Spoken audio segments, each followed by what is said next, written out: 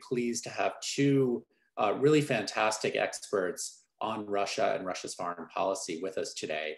Uh, I'm going to briefly introduce them, uh, and then they will come on the screen. And as we usually do, we'll hear brief remarks from each of our speakers, followed by a brief conversation with me, uh, and then questions from all of you. So please remember to pose questions if you like using, uh, I think it's the Q&A feature. You'll get an announcement about that shortly. Uh, we, we welcome your questions. We'll, we'll definitely get to those uh, in the second half of the hour. Uh, but first, again, we're going to hear from both Kathryn Stoner and Dan Treisman. So let me briefly introduce them and then we'll start. So Kathryn Stoner is the Deputy Director at the Freeman Spogli Institute at Stanford uh, and a senior fellow uh, at the Center on Democracy Development and Rule of Law, as well as CISAC and many other places at Stanford, including political science, etc. She seems to hold uh, or have many hats. Uh, most importantly, for our purposes, Kathryn is a longtime Russia uh, scholar and watcher, and the author most recently of Russia Resurrected, Its Power and Purpose in a New Global Order, which was just published this year in February. Uh, after Kathryn speaks, joining her on screen momentarily, uh, is our own Dan Treisman of UCLA, professor of political science, research associate at the National Bureau of Economic Research. Uh, and as I discovered recently, Kathryn and Dan actually went through the same PhD program. So um, they are longtime uh, friends and colleagues. And Dan will follow Kathryn uh, in the discussion. And as I said, we will then pivot to a conversation. So uh, Kathryn, take it away. Great. Thank you so much for um, having me. And hi, UCLA, from all the way up from Northern California. Um, it's a pleasure to be here this morning and, um, and in particular to, to chat with you, Kal, and also Dan uh, about what's happening um, in the US Russia relationship uh, as the Biden administration kicks off its uh, Russia policy. So I think one of the questions, since you asked us to speak for about seven minutes uh, each at the beginning here, and then and then have a conversation, my challenge is going to be making sure I stay within those seven minutes. So um, I, I, will make just a few quick remarks, and then hopefully we can go more deeply into some of these issues. But um, we have, of course, a, a summit between uh, Biden and Mr. Putin that was now uh, has been confirmed as of yesterday for June 16th in Geneva. Um, and um, uh, this comes as an interesting point in US Russia relations. I've been um, attending by the virtues of Zoom some of the um, webinars in Washington um, over the past six months to a year. Um, and uh, that's probably the only positive thing to come out of COVID is that you can move around quickly. Um, uh, online. So uh, it is a common lament in, in Washington currently, and I just attended a, a talk last week um, where uh, people are saying this is the worst moment since the collapse of the Soviet Union. But um, uh, that seems to be updated or, or, said every two to three years. Um, you know, we said that on the back of Russia's war with Georgia in 2008 um, the worst moment. Then Ukraine in 2014, that was the worst moment. Then Russia's electoral interference uh, in the American presidential elections in 2016, that was the worst moment. Um, and then deepening sanctions on Russia in the wake of um, Alexei Navalny's imprisonment um, and other events. And then Biden's killer remark just uh, a month or two ago um, regarding Putin, um, more sanctions this year, now the diversion of a Lithuanian plane by Belarus to nab a leader of Lukashenko's opposition in Belarus, possibly with Russian help, uh, clearly with, with Russia's okay, at least, um, and Russia even lightly now trying to defend Belarus's right to have done this uh, over this past weekend. So, you know, uh, is this the lowest point now since the collapse uh, of uh, communism? or of the Soviet Union in particular in 1991. And in 1991, relations were actually quite good. So I'm not sure that's a good uh, reference point.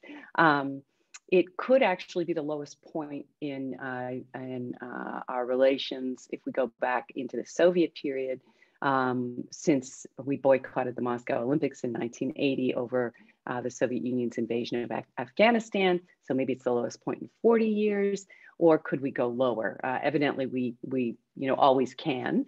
Um, I think it's the wrong question, and I don't know that it's particularly helpful to describe or characterize relations um, this way since we don't know what the lowest point is, of course. Um, it could be war, but we're not there, and I don't think we're headed there.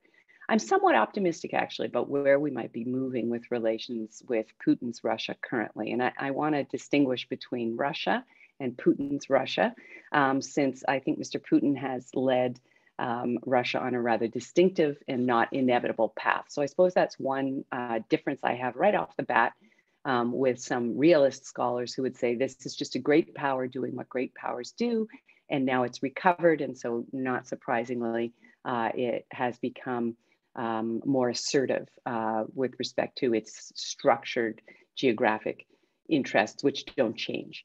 Uh, I think that's wrong. I, I, I, think, of course, Russia has interests, and in my book, I make this argument too. Russia, of course, has interests. Every country has interests, which can be geographically determined um, or, or you know, culturally determined or what have you. But you know, um, those are those are uh, not always fixed. Uh, they can change over time, of course, and um, different administrations, different leaders of countries will, of course, have different policy interests, and and um, how they act on those interests, even structured interests, are uh, can can vary tremendously. And I think we've seen this even with Mr. Putin himself over the last 21 years that he's been in power in Russia in, in one capacity or another. So I think um, what I'm optimistic about is where we're moving with relations in terms of the commitment on both sides, it would seem, to moving toward predictability and stability um, in the relationship, but not necessarily comity and friendship and uh, you know new areas of cooperation. Although there are some potential areas where we could cooperate. So even if we don't view here in the United States Putin's administration in, in Russia as uh, particularly friendly to the United States or to American interests, uh, in the wake of the constitutional changes that were made in Russia last summer, um, uh, he will be, if he chooses to be, and those around him enable it, um, president of Russia until 2036. Um, so we have to currently and, and uh, for the foreseeable future, at least until potentially 2036, have to deal with Putin's Russia and Putin's foreign policy preferences. Um, so there are signs um, that uh, the Russians themselves, Mr. Lavrov, uh, in his meetings with Blinken last week, our, our new Secretary of State, and other members of the Russian foreign, uh, foreign policy establishment, and even 90-year-old Mikhail Gorbachev have said they too are looking for uh, new predictability and stability in the wake of the Trump administration, where they thought things would be good and then things turned out sort of messy. Um, the second thing I think that we are hearing um, uh, out of Washington, um, which I would take issue with, um, about the relationship is that um, we're not seeing another reset, that uh, Mr. Biden is not going to fundamentally reset relations with Russia. Um, and um, they're noting that every other US administration since Eisenhower has uh, attempted some sort of reset uh, of relations with the Soviet Union or, uh, or now Russia um, and uh, all have uh, ultimately ended with a thud and, and, worsening relations between the two. Biden himself, of course, announced Obama's reset in 2009 uh, in the Munich uh, Security Conference. So it's not as though he's unfamiliar with the idea of doing this. Anyway, I, I think that they're wrong here too. I think there is a resetting of the chessboard or of the relationship, and that is toward predictability and stability, and to some degree, acceptance uh, of, of where we are in the world. And, and where we are now is uh, in a, a multilateral, um, multipolar world, not, uh, not a unipolar world anymore. Um, the United States stepped back in, in terms of its global footprint, uh, even starting under the Obama administration with our leading from behind policy. And uh, uh, Russia and China have have stepped in, um, and uh, the Trump administration, I think, even more with America First, uh, made made the U.S. less relevant in important parts of the world. So. Um, so there is inevitably a reset because the situation has changed uh, since uh, Biden last held office. Um, so how much is, is there a departure from what went before? Well, there are, as I mentioned, structural interests, fixed interests, and both countries have these to some degree, of course. Russia is a huge country, biggest in the world geographically, you know, 14 international borders. Um, uh, so it affects a lot of, of countries, right? Uh, different countries in different places. Um, actors have also uh, changed. The American administration has changed. Russian administration ha has not changed in the sense that Putin obviously is still in charge, but he is has evolved from uh, attempting to befriend George W. Bush in 2000 in the wake of 9/11, trying to cooperate with the United States on joint interests in terms of preventing terror um, globally, to opposing the U.S. invasion of Iraq in 2003, to by uh, 2009 um, when Medvedev was present uh, president and Putin uh, was prime minister, um, tolerating closer cooperation with the United States on Afghanistan, uh, establishing a northern distribution network for our men and uh, women in the military and material going through Russia uh, into Central Asia to stage uh, our troops in Afghanistan, signing the New START agreement in 2011. We've just upped, re-upped that for another five years in February of this year working together on the um, on the Iran nuclear deal, the so-called JCPOA, which the Biden administration is now trying to reignite. Um, Putin, you know, is stepping in over uh, the red line or the line in the sand, I guess that uh, Obama tried to establish in Syria over uh, Assad's use of uh, weapons of mass destruction, and, and Putin stepping in and saying, "Wait, wait, I'll help get those out of Syria." But ending all of this ended, this kind of cooperation, uh, when, um, when Mr. Putin returned to the presidency in 2012 and his domestic political situation changed. And what we've seen uh, since is um, a more assertive uh, domestic policy, um, becoming more autocratic at home in Russia, and a more assertive Russian foreign policy. I think the other thing we've seen that's changed is the, um, the tools uh, with which uh, Putin's hardening autocracy has used to pursue this more sort of revanchist and assertive foreign policy. He's got more plentiful tools, um, and uh, they are um, ever more powerful, sharper. And I think that uh, an increasingly unrestrained autocracy has enabled him to use those tools uh, um, uh, with, without really any serious check um, on them. Um, both countries uh, and their respective governments have a, a, variety of power tools and resources that they can use in international politics. And I think this is what's different is that, um, not to refer too much to my own work or my, my new book, Russia has to some degree resurrected. Um, and Dan, of course, wrote a book called The Return um, that, uh, that you know, looked at this too. Um, I've gone, my, my book, it, it goes, says that there's also a big break uh, from 2012 after uh, Medvedev uh, in particular leaves the presidency and Putin comes back. So uh, Russia has, you know, enhanced its uh, geographic domain um, where it operates. It has made some new relationships, reestablished relationships. An important one is China. It is has it's particularly weighty in certain policy areas, and as long as we uh, the global energy uh, resources uh, are so dependent on oil and gas.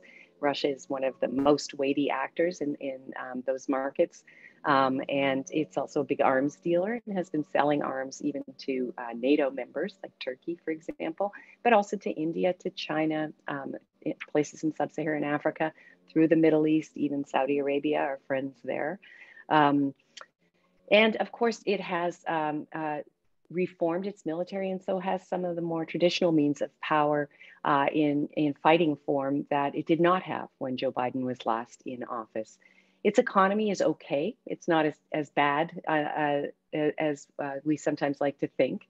Um, it's, uh, it could be better, of course, and that, that is something that's very important to Putin's administration because I think the most important thing to Mr. Putin's administration is stability uh, at home, domestic stability.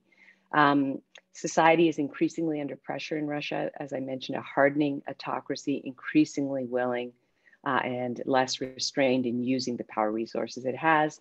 And it now has new, new or enhanced sharp power resources in the cyber area, as we've seen. And uh, it has a, a, new ally, or at least a, a strategic partner in China, um, which also has bad relations with the United States. So all of this is the new sort of table, I think, um, that, that Biden is coming to. So just last few minute, a minute or two here, what's the agenda as we look toward this upcoming summit? um, between Biden and, and um, Putin. Well, Putin is obviously dealing with a rather different person in Joe Biden than he dealt with in Donald Trump. This is a, uh, a guy who he has met before. Uh, they know one another. I don't think they particularly like one another. We can all remember about a month ago, Biden, of course, as I mentioned, calling Putin uh, a killer. Um, uh, and um, Putin wishing Mr. Biden, perhaps ironically, uh, sarcastically, good health. Um, I think that was an allusion to his age, um, but also Putin's a killer. Um, so uh, we're not going to have anything like the Helsinki fiasco between Trump and Putin, where uh, Trump obsequiously uh, tried to befriend Putin and they liked one another. Biden doesn't care whether, uh, you know, it's not important to him whether Putin likes him. Um, so he's not going to pursue a friendship. Um, um, but I think it's going to be very pragmatic. And to be honest, we don't have many tools in the United States beyond what we're using already, um, which is sanctions, which are imprecise, but not completely ineffective to curb Russia and, and, and Russia's new foreign policy. Um, that said, we can't leave our values at the door, um, as, uh, as I think Mr. Trump wanted to do. Um, but our own internal politics have weakened the degree to which um, we can raise Russia's uh, human rights or, or uh, democratic uh, uh lapses um, as well. That said, uh, I'm sure that Mr. Mr. Biden will raise the issue of Alexei Navalny and his imprisonment and his treatment. I'm sure he will raise um, Protasevich, um, the, uh, the Belarusian journalist who was just pulled from the sky um, perhaps with Russia's help. Um, other things we should hope to accomplish, and I think basically the, the, the policy will be to de-link um, some of these issues where we want to uh, cooperate with Russia. Um, we'll separate out areas of, of, of conflict. Um, uh, reinstatement of, of the Iran nuclear deal, Russia could be helpful here. They certainly have better relations with Iran, uh, especially because they've cooperated to a great degree over um, the Syria conflict since 2015 some form possibly of a cybersecurity accord to enhance transparency, maybe. Um, there could be more nuclear arms control agreements on shorter and medium range um, weapons. Uh, Russia has developed a number of new weapons since uh, 2008 in their new look military reform. We think some of those might work, actually. Um, and uh, the Arctic and climate change, where Russia is really a heavyweight in, in terms of policy uh, and looking to access resources there. And then vaccines and coronavirus. But my expectations are not that great uh, for uh, this upcoming um, um, uh, summit. Um, Ukraine is the big issue and a harder issue. Um, and and um, it, you know, Russia is obviously much more invested in Ukraine than, than we are. I don't know that we would go to war uh, over Ukraine. I'm pretty sure we wouldn't. Um, but uh, but Russia is sort of making moves towards uh, reigniting a conflict there, especially if they leave all of the troops. They have about 80,000 troops, maybe fewer now, on the border uh, with Ukraine, which apparently are now supposed to be for an exercise. Um, I think expectations overall are pretty min minimal for, um, it, but um, the, the, the big reset here again is uh, is back to stability, and the policy will be to constrain Russia as best we can cooperate where we must uh, and recognize that we're now in a three-way competition with Russia and China, who for the moment are cooperating with one another and not with us in most areas. So the reset is a policy of stability, predictability, back to deterrence of Russia as best we can, while acknowledging that there are some areas where cooperation could be useful, but not indispensable. Um, so with that, I'm turning things over to Dan.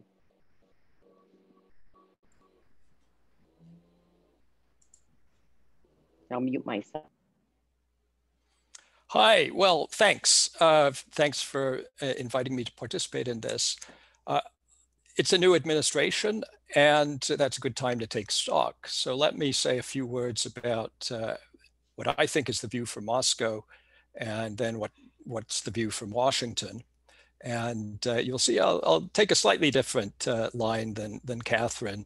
I agree with a lot of what she said, but I, as you'll see, I'm a bit less optimistic. So at home, uh, Putin faces a pretty dreary reality. Uh, Russia's coming out of the coronavirus. They may get a temporary economic boost, but underneath, uh, there's chronic stagnation. in the economy. Uh, real incomes of Russians were 11% lower in 2020 than in 2013. Euphoria over Crimea is long gone. Putin's ratings have stabilized in the low 60s. They're about 65 uh, percent approving of his performance at the moment. That might sound quite high, but actually it's not far above Putin's all-time low uh, since he's been in power uh, since 2000. And uh, in that 65%, there's not much enthusiasm. When asked what they like about Putin, only 3% mention honesty or decency. People don't have a lot of hope that, that things are going to get better. And uh, as Kathryn mentioned, discontent is being policed with an ever heavier hand. Now, if we look abroad, uh, we see Russia's active all over the place. In Syria, still propping up Assad. Uh, in Ukraine, uh, they've been beefing up the forces in Crimea. Uh, Putin continues to back the brutal insurgency in Donbass. They recently rushed 100,000 troops to the border. It's not clear if they were planning something and then changed their mind or if the point was just to intimidate. On Russia's northern border, uh, Kathryn mentioned the Arctic. Uh, well, they're militarizing it. Uh, they're doing up there something like what Xi Jinping is trying to do in the South China Sea keep asserting rights over international waters until they become accepted. And plenty of saber rattling. Uh, recently, Putin said that, quote, everybody, everyone wants to bite us somewhere. And he warned potential biters that, quote, we will knock their teeth out so that they cannot bite. Meanwhile, Russia's desperately trying to be useful to China as a fuel provider, uh, not just oil and gas, but now nuclear reactors. In fact, Russia's been using its atomic energy industry to spread influence around the world in many countries. That's just the more or less official uh, business in, in foreign, foreign affairs. Then there's the cloak and dagger stuff. Russian mercenaries, uh, loosely coordinating with the defense ministry, are active in Libya, the Central African Republic, Mozambique, other African countries. And then there are the intelligence agents. Uh, we've seen a pretty amazing level of activity by the GRU, running aggressive operations across Europe, uh, trying to overthrow the government of Montenegro, poisoning the Skripals in Britain and an arms dealer in Bulgaria, assassinating Chechen emigres in Berlin, Vienna, France, Turkey, uh, blowing up an arms depot in the Czech Republic, hacking the Bundestag, hacking Emmanuel Macron's presidential campaign, hacking the DNC, hacking the Organization for the Prohibition of Chemical Weapons in The Hague, uh, sheltering the hackers who took down a US oil pipeline very recently, uh, very possibly paying bounties to Taliban killers for hits on US troops in Afghanistan, very possibly using microwave weapons to sicken US diplomats. The scale of this malign activity is really remarkable what lies behind this. I think Putin believes that conflict with the West is unavoidable. We're out to get him, and his best defense is a kind of covert offense. Expand influence, exploit weaknesses, create problems, and use all tools available, create new ones.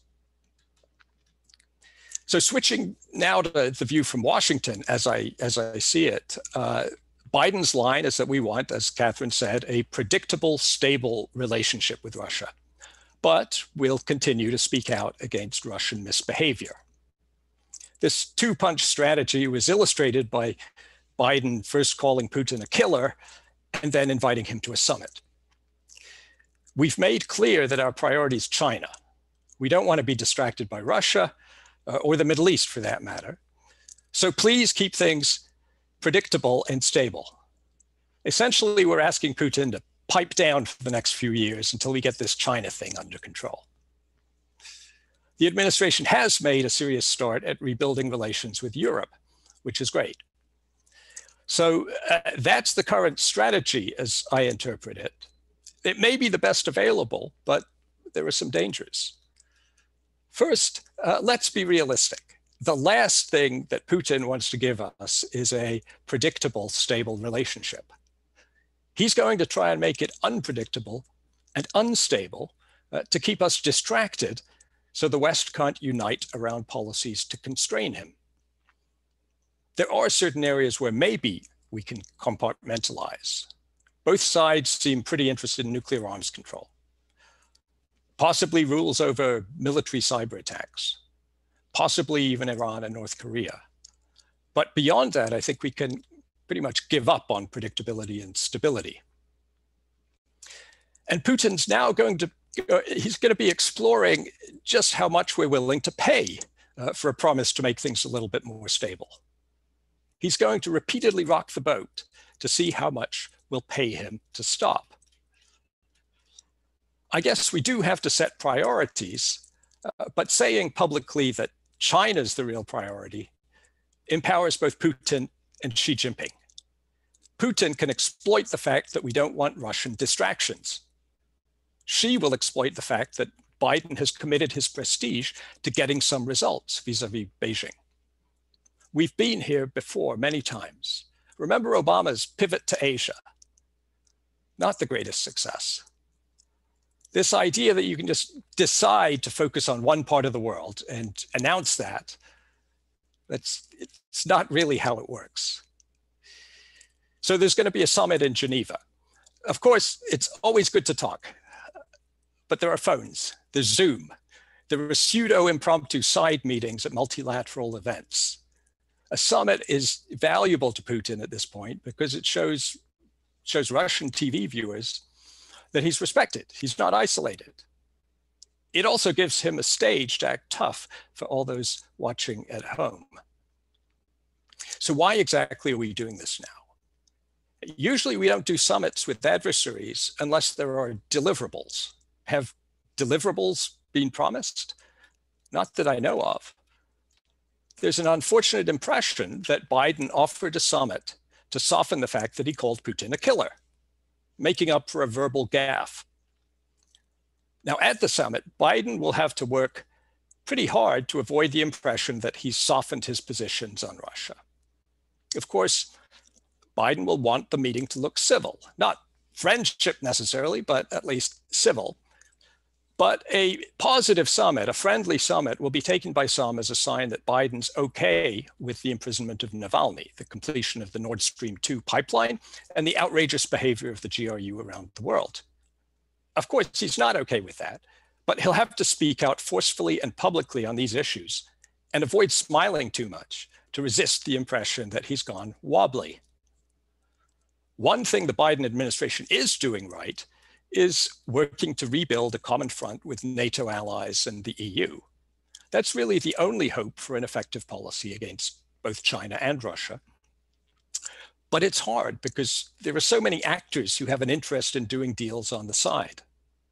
The danger here is that you end up forging this powerful coalition by compromising on all the policies that you need this powerful coalition to pursue. The Nord Stream 2 pipeline uh, is close to completion. It'll go from, from Russia to Germany.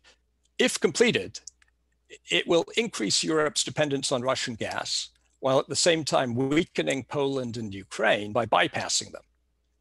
It's inconsistent with the EU's energy strategy, uh, it was a bad idea in 2015 when it was begun. This was just a year after Russia seized Crimea and, and set off a civil war in Donbass. Uh, and at that point, uh, European business thought it was a good moment to, to, to, build a pipeline with Russia. It was a bad idea then, and it's still a bad idea. Uh, Antony Blinken has said as much.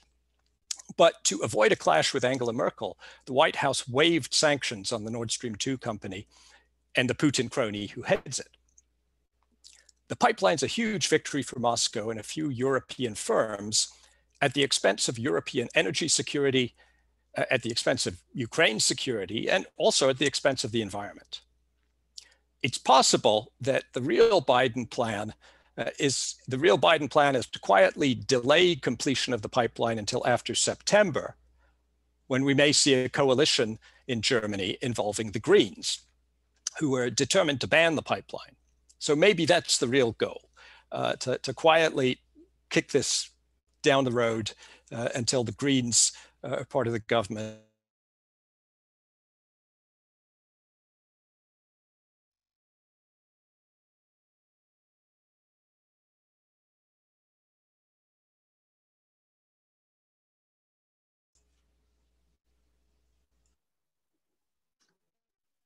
Dan, I think we've lost your connection. Is, are you Yes, Kal. I was just saying, uh, let, us turn it over to you at this point. I've, okay. I've, probably said enough. Perfect. Okay. There was a bit of a glitch at the end, but I think we're fine. So, um, so, so first of all, two very, very interesting overviews of a very complex situation. So, I thought maybe we could start with just a couple of bigger picture issues, and we'll sort of drill down on a few others. So, I guess one thing, just listening to the both of you, I was struck by the notion, and I, I think I've heard others say this, but I just want to hear your reactions. Is Putin's fundamental, or let me speak of Russia perhaps, uh, Russia's fundamental interests in the near term globally, uh, can it be characterized as primarily instability? In other words, what Russia benefits from most is a disordered world. That's to either of you or both? I'm happy to take a stab at it. Uh, Kal, yes, I think at the moment, uh, because Putin has, and of course, there's a lot of interpretation, so Kathryn may have a very different interpretation, but because I think Putin has given up on any meaningful partnership uh, with the West, and because he has a quite cynical uh, view of international politics and how the world works, uh, and because he has, despite all these energy resources and uh, other powers that might look impressive from outside, despite the, that, the fact that he's quite weak and domestically vulnerable, uh, means that yes, he will try to protect himself by creating instability, by distracting, by driving wedges between Western partners, and uh, just trying to prevent in all the ways that he can uh, any kind of unified front of the West to limit his options, to constrain him, and to put pressure on him politically, because I think he believes that that definitely the U.S. and more broadly many in the West uh, would like to see a new political regime in Russia and have been uh, covertly working towards this for some years. Yeah, I would say that's right. I, I in in my book, actually, at uh, some of the things Dan went through there, I, I uh, are chapter four, um, but uh, or chapter three, sorry, in terms of where Russia's influence has, you know, its influence has grown and where it's active. I, I would call it a disruptive power. I mean, that, that is its sort of power in disruption, uh, right? So look at look at how it sort of exacerbated the conflicts within American society through these sharp power or cyber means. Uh, it's done the same kind of thing in in Europe um, right? It's also uh, disrupted um, relations, or what we what we had historically had as strong relations in the Middle East, um, with by dealing bilaterally with uh, countries that are traditional enemies of one another. So you know, it actually has decent relations with Saudi Arabia and some relations with Iran, um, with Israel as well, with um, you know, with with United Arab Emirates. So who's you know, investing in in the Russian economy, which yeah, the, I mean, in terms of macroeconomics, it, things are not that bad. It doesn't have that high debt. It, um, you know, inflation hasn't gone skyrocketing. Um, but you know, longer term, the fundamentals are good. I, I think one of I, I would agree with Dan in terms of how we think Mr. Putin might see the world. But one of the things I think too is that um, is that he doesn't think long term, right? So his time horizons are, are pretty short. Um, and uh, it's it's there is you know a real concern clearly with domestic stability. So NATO expansion is not what's going to bring down you know his regime.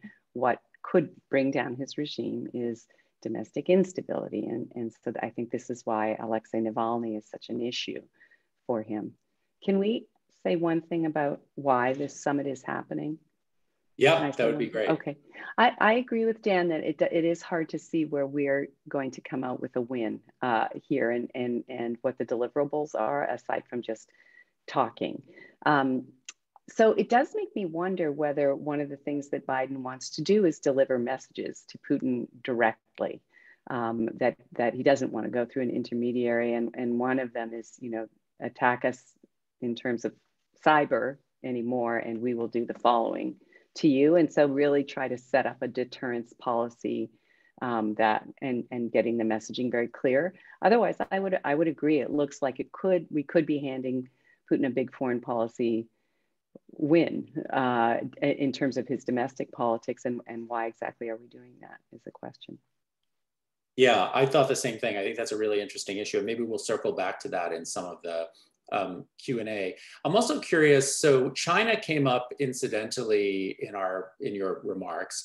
Uh, you know, looking at this as someone who's not a Russia expert, uh, one of the things that's striking is on the one hand, Russia is obviously a militarily formidable country. On the other hand, you know, although its economy may be, you know, recovering or I'm forgetting the word I think Kathryn used, recover, resurgent, you know, it's half the size of California. It's basically Southern California. It's tiny, tiny place. Yeah, it's the sixth largest. I think it's the sixth largest in the world, but it's but compared to its GDP. great power competitors, tiny. Oh, sure. It's 3% of global GDP. Yeah. yeah. So yes, obviously in, in a kind of general sense, it's a big country, but if you're saying US, China, and Russia, there's an odd man out in that trio.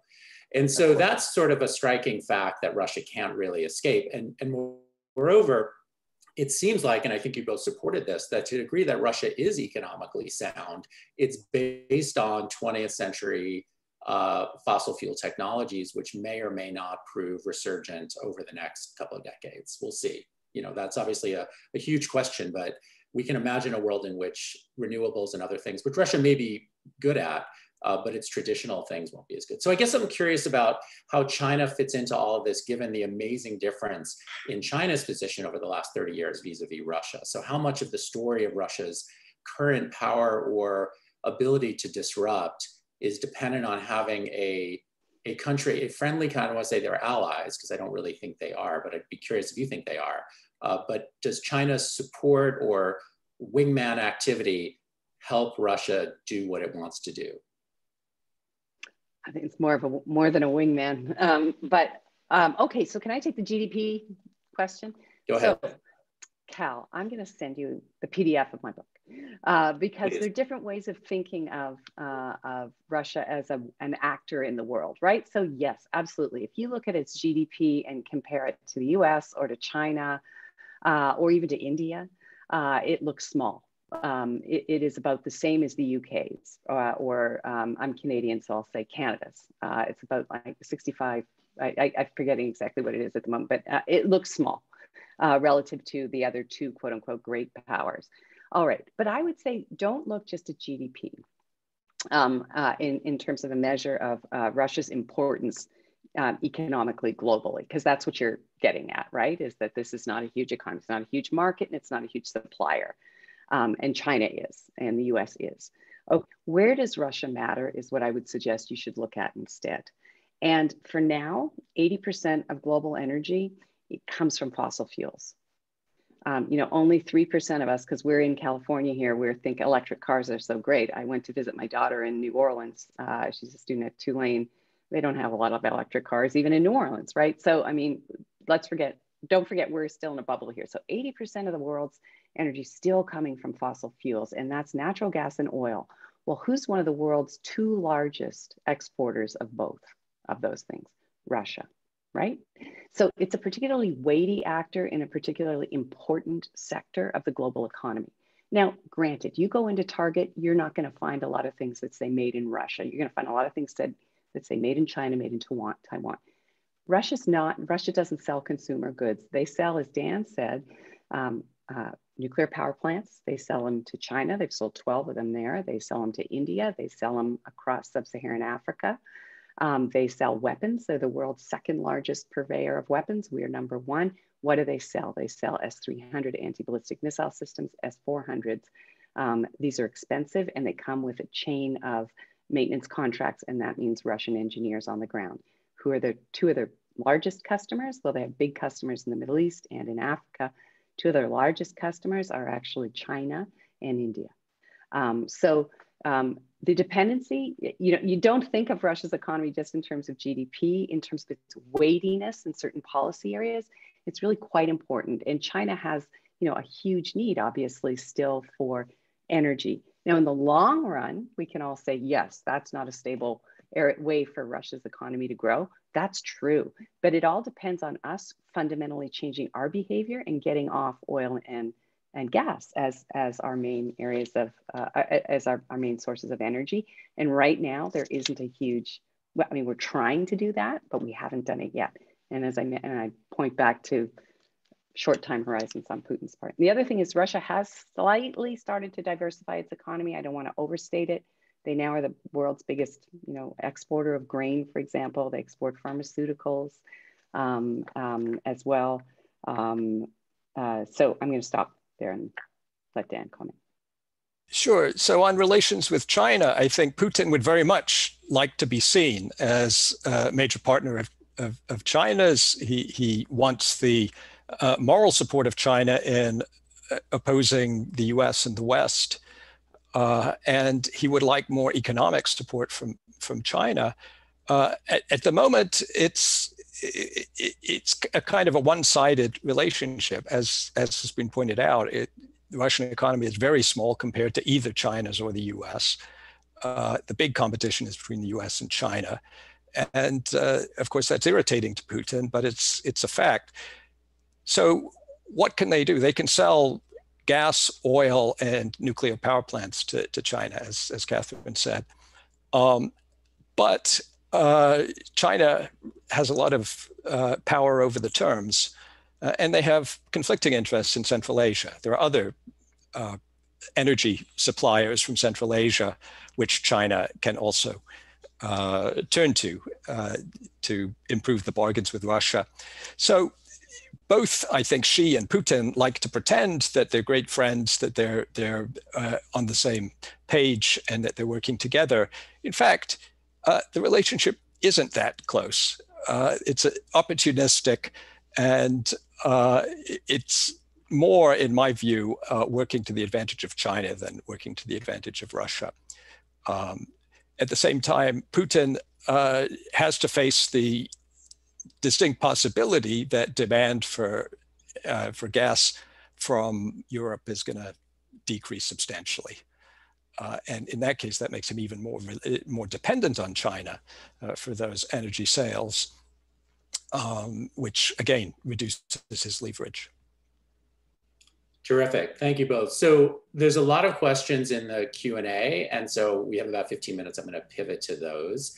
Um, and so why don't we start, there, there's a number of different things uh, that we could begin with, but one of the questions um, asks whether Putin's concept of of Russia's geopolitical interests uh, represents a sort of continuum of expansion going back to you know Peter the Great, uh, Stalin, etc. You know, in other words, is this just uh, normal Russian behavior over centuries, or is there something distinctly Putin-esque about what we're seeing today? And if so, what would that be? So I'm sort of uh, embroidering the question a bit, but what's what's uniquely Putin and what's just basic Russian? What Kennan might have written. Do you, yeah, do you want to go first on that one, Dan? Sure. Uh, uh, well, it, it, might sound sound strange, uh, given that I started by pointing out all the aggressive international actions uh, that we've been seeing. But uh, I mean, first of all, I don't think these historical, these long-term historical deterministic arguments tell us very much because countries can always go down different paths. There's always some choice.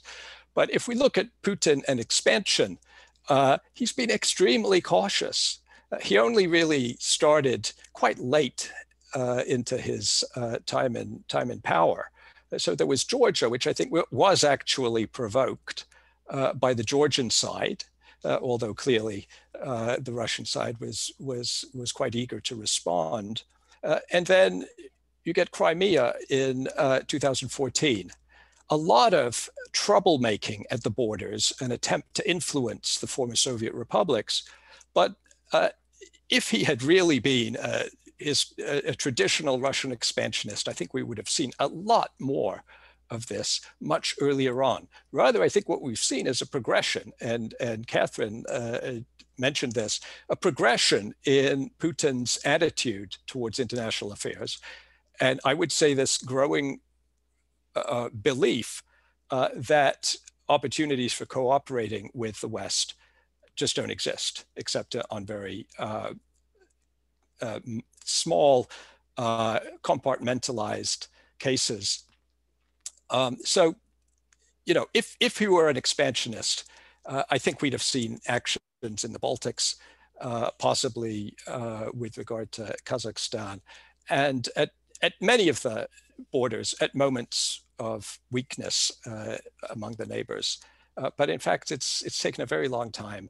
And he clearly prefers, when possible, to use all the instruments of security service uh, uh, activity rather than military invasion. And that's in part because the world has changed. Uh, even if Putin wanted to expand uh, in, in the manner of Peter the Great or, or, uh, or Catherine the Great, obviously we're living in a completely different world.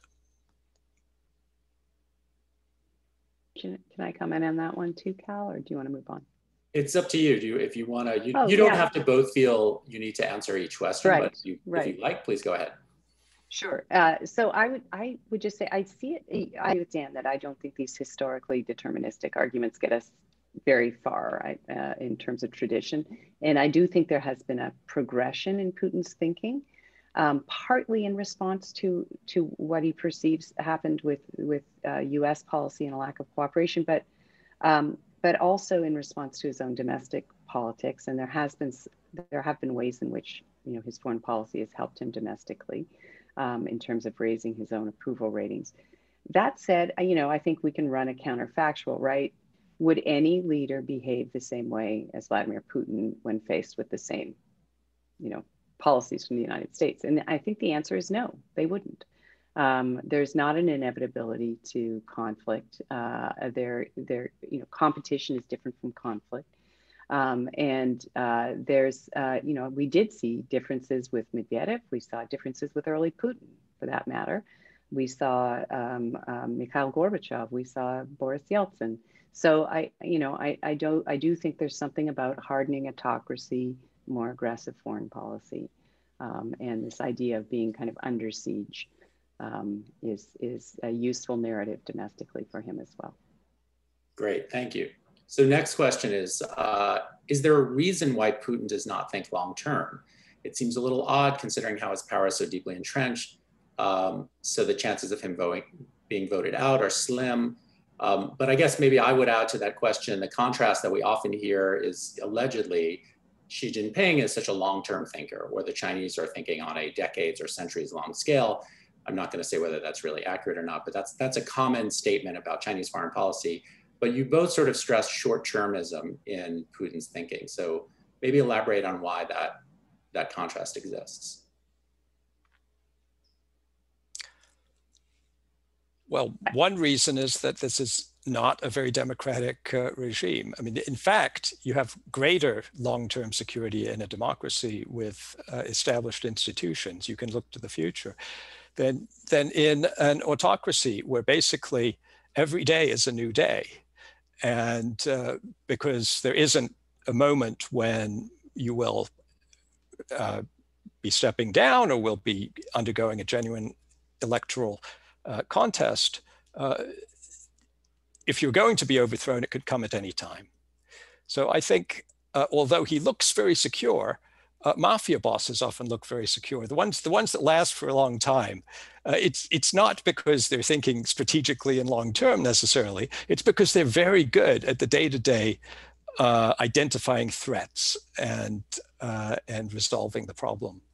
Um, and I think that's his view of the world. I mean, not not that I can provide you with any very strong evidence, but uh, if you look at what he said over the last 20 years, how he talks about things, and put that together with what he's done, uh, you form an impression in, of, of somebody who's looking at the world as a million things going on simultaneously. It's very difficult to predict uh, beyond, you know, a very short time scale. And uh, you see a great desire to keep his options open um, so that he can respond tactically. Now, what, what we see if we look at other authoritarian regimes historically is that, that many of them, I did, did a study of this, many of them end uh, because of mistakes by the incumbent uh, in unforeseen circumstances. So, you know, whatever the uh, brilliance of the plans you may have created, what, how, whatever you know, pseudo democratic institutions you've you've established, and those may help to some extent, uh, you're still vulnerable to just unexpected circumstances that provoke you into making mistakes, which then snowball and lead to the end of the regime. So I think he has a realistic view of the world as, as not something that one can control and lacking uh, a kind of institutionalized political system uh, which everybody believes will constrain things going forward. There's no reason to, to, to think that you can plan, you know, 10 years ahead. Right. It's very typical of a personalistic autocracy, which is what it's become. It wasn't always that, but yeah, I would completely agree. Under institutionalization, lack of regular process makes you vulnerable to some kind of exogenous shock or, uh, you know, event uh, or elite overthrow even. Um, and and so he this is one reason why he cares so much about public opinion, which is kind of odd in an autocracy, you might think, right? But it's a resource for him uh, in the system in, in which he works. It keeps other elites at bay um, when he has such high approval ratings. So that's all I would add.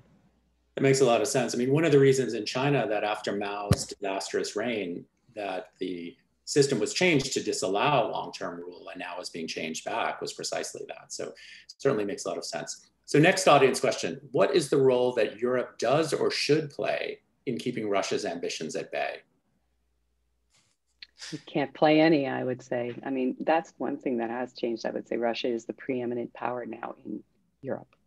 Um, and, you know, European Union's strength is in its unity, its weakness is in its unity, uh, it, the requirement for unity, right? And so Russia has worked quite hard to try and, and, and split that up with some success. I mean, a lot of resentment over Germany and Nord Stream 2.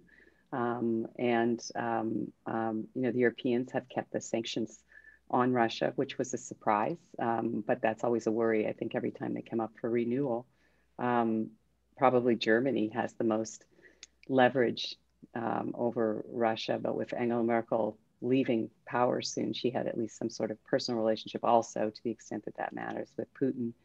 So I, I don't think there's a ton of leverage there uh, anymore, especially uh, given this, the, as Dan said, the Nord Stream 2 pipeline will be completed. And um, this makes Germany at least even more, and arguably other parts of, of, uh, of Europe, but in particular Germany, even more dependent on Russia, at least for now, right? At least for now.